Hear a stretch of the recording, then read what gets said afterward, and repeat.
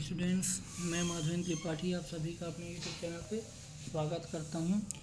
आज हम unit one के आगे के टॉपिक के बारे में डिस्कस क्या है, करेंगे। तो आगे देखिए क्या दिया हुआ है ह्यूमन इन्वायरमेंट ह्यूमन इन्वायरमेंट क्या होता है? As mentioned earlier the environment consist of both natural and human factors तो इसके पहले ही हमने पढ़ा कि जो हमारा इन्वायरमेंट होता है, वहाँ पर नेचुरल और ह्यूमन दोनों तरीके के जो फैक्टर हैं, वो इन्वायरमेंट में क्या है, आपको देखने को मिलेंगे।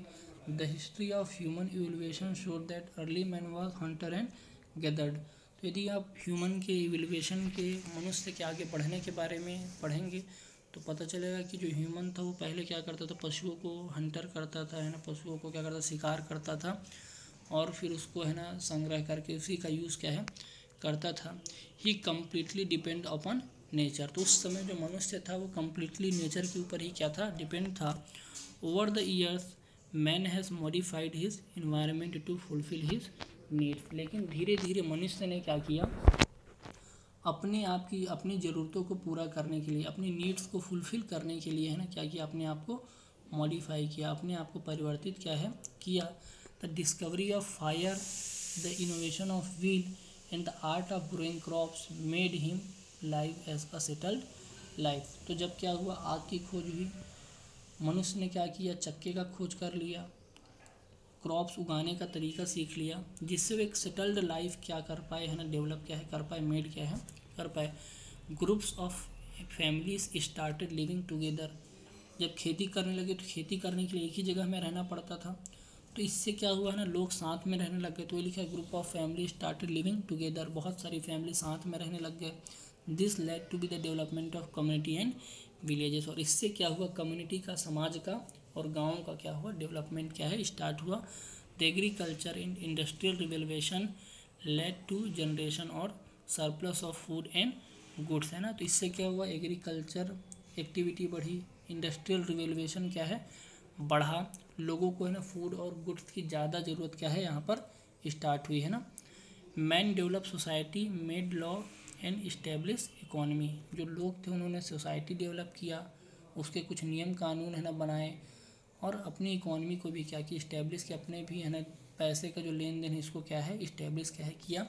Man is the part of his family community, state and nation. तो जो मैन है, मनुष्य है, वो किसी न किसी फैमिली का पार्ट होता है, किसी न किसी कम्युनिटी का पार्ट होता है, स्टेट का और नेशन का पार्ट भी क्या है, होता है। Every individual is a part of some community and religious group. तो जो एक व्यक्ति है इंडिविजुअल है, वो किसी न किसी कम्युनिटी को, किसी न किसी जाति को और किसी न किसी रिलीजियस है ना ग्रुप को क्या करता है ना बिलोंग क्या है, करता है। तो वो क्या है, किसी न किसी कम्युनिटी माने समाज, है ना, और किसी न किसी धार्मिक है ना ग्रुप को क्या करता है बिलोंग क्या है, करता है।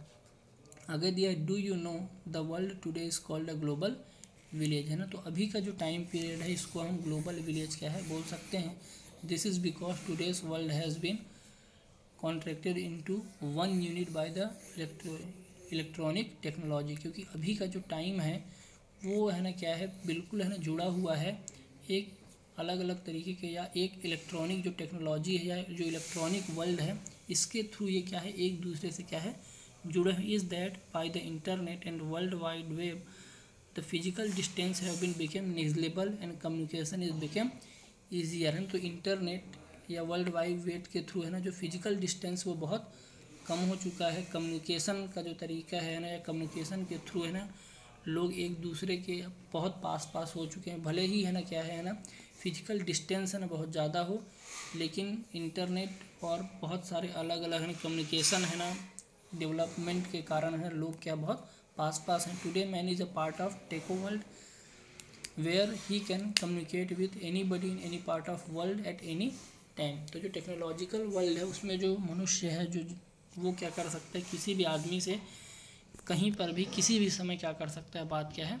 कर सकता है। Similarly technology achievement advance achievements in transport help to reach far of places in a few hours technology के डेवलपमेंट के कारण ही है ना, जो लोग हैं वो ट्रांसपोर्ट के थ्रू है ना, एक जगह से दूसरी जगह बहुत जल्दी क्या है, पहुँच सकते हैं। Man is not living in isolation तो जो मनुष्य है वो आइसोलेशन में, एकांत में नहीं रह सकता जैसे गवर्नमेंट अभी बोलती है क्या कि कोरोना वायरस में आपको आइसोलेट किया जाता है चौदह दिन के लिए ना? तो बहुत मुश्किल है चौदह दिन अकेले रहना। तो यही कि इस टेक्नोलॉजिकल वर्ल्ड में जो मनुष्य है, उसका आइसोलेशन में रह पाना बहुत मुश्किल है। He is a part of global village क्योंकि वो क्या है, इस ग्लोबल विलेज का क्या है part he also lives in a computer stimulated environment called a virtual reality है ना? क्योंकि जो मनुष्य है, वो कंप्यूटर के इन्वायरमेंट में क्या है, इस समय रह रहा है ना? ठीक है? जो पर्सन है, वो क्या है ना, अपने आप को क्या कर रहा है? जो मनुष्य है ना, वो क्या कर रहा है? अपने आप को, है ना, ठीक है? रियल तो क्या कर रहे हैं, ठीक है? फील कर ही रहा है कि हम यहाँ पर हैं। इसके अलावा वो अलग अलग जगहों पे भी अपने आप को क्या करता है, देखता है। कैसे देखता है? कंप्यूटर के थ्रू, है ना, या इंटरनेट के थ्रू, है ना तो देखिए लिखा डिड यू नो में लिख लिया virtual reality is a computer stimulated environment where a person can feel his presence in the real as well as in a virtual places तो जो आदमी है, वो अपने आप को किसी एक जगह में तो फील कर ही रहा है, इसके अलावा भी अलग अलग जगहों में अपने आप को वो फील क्या है, करता है। आगे देखिए, दिए हुए man impact on the environment अब मनुष्य का क्या इम्पैक्ट है इन्वायरमेंट के ऊपर? Man is an integral part of environment earlier man completely depend upon his environment but modern man has been able to change his environment as per his needs है ना? तो जो मैन है, जो मनुष्य है, वो क्या है? इन्वायरमेंट का क्या है? बहुत महत्वपूर्ण पार्ट है, भाग है। Earlier man completely depend upon a environment तो जो पहले के समय के लोग थे, वो इन्वायरमेंट के ऊपर ही क्या थे? डिपेंड थे। बट जो मॉडर्न आदमी है मॉडर्न मैन है, वो अपने हिसाब से, अपनी ज़रूरतों के हिसाब से क्या करता है? इन्वायरमेंट को ही क्या कर रहा है? चेंज क्या है? कर रहा है। Man has played a dual role of beginning a developer as well as a polluter तो जो मैन है, वो ड्यूल रोल या डबल है ना रोल यहाँ पर प्ले कर रहा है कि वो डेवलपर तो है ही है, इसके साथ वही क्या है? इसका पॉल्यूटर है। वो अपने आप को बहुत ज़्यादा डेवलप तो कर ही रहा है, लेकिन अपने इन्वायरमेंट को भी वो क्या कर रहा है? पॉल्यूट क्या है? कर रहा है। Man has ruthlessly use the resources to fulfil his desire और मनुष्य जो है वो बेरहमी से है ना, या बहुत बुरे तरीके से है ना रिसोर्सेज का यूज़ कर रहा है अपनी ज़रूरतों को पूरा करने के लिए। This this haphazard and over utilization of resources has led to environment pollution. और इस अत्यधिक यूज़ के कारण ओवर यूटिलाइजेशन के कारण रिसोर्स के जो इन्वायरमेंट है, उसमें पॉल्यूशन क्या हो रहा है, बढ़ रहा है। The unwanted and harmful agents in the natural environment causes environment pollution है ना? तो जो हार्मफुल गैसेज हैं एजेंट्स हैं, या जो नेचुरल है ना इन्वायरमेंट है, उसको क्या करते हैं? या गैसें क्या करती हैं? पॉल्यूट क्या है? करते हैं। For example agricultural development introduced artificial chemical to grow crops है ना? एग्ज़ाम्पल अब कैसे, है ना, ठीक है, ये, है ना, हमको पॉल्यूट कर रही हैं। एग्रीकल्चर डेवलपमेंट के लिए हम क्या करते हैं? आर्टिफिशियल केमिकल्स का यूज़ करते हैं, जिससे जो क्रॉप्स है जो खेती है वो बढ़ पाए प्रोडक्शन क्या है उसका बढ़ पाए। This led to a problem of land degradation इसके कारण क्या हो रहा है? ज़्यादा फर्टिलाइज़र का यूज़ कर रहे हैं केमिकल का यूज़ कर रहे हैं। तो जो लैंड है ना, उसके डिग्रीटेशन हो रहा है, उसकी प्रोडक्टिविटी क्या है? कम हो रही है। Land degradation is the reduction in the quality of land तो लैंड डिग्रीटेशन के कारण जो लैंड की क्वालिटी है वो क्या हो रही, ख़त्म क्या है? हो रही। Similarly excessive vehicular and industrial elimination have led to a increase in carbon dioxide and other harmful gases in the atmosphere ज़्यादा है ना, क्या हो रहा है? व्हीकल का यूज़ हो रहा है। ज़्यादा है ना, क्या है? गाड़ियों के यूज़ के कारण है ना इंडस्ट्री के कारण जो उसका धुआँ निकलता है, जिसमें कार्बन डाइऑक्साइड और हार्मफुल जो गैसेस हैं, इससे भी हमारा इन्वायरमेंट क्या है? पॉल्यूट क्या है?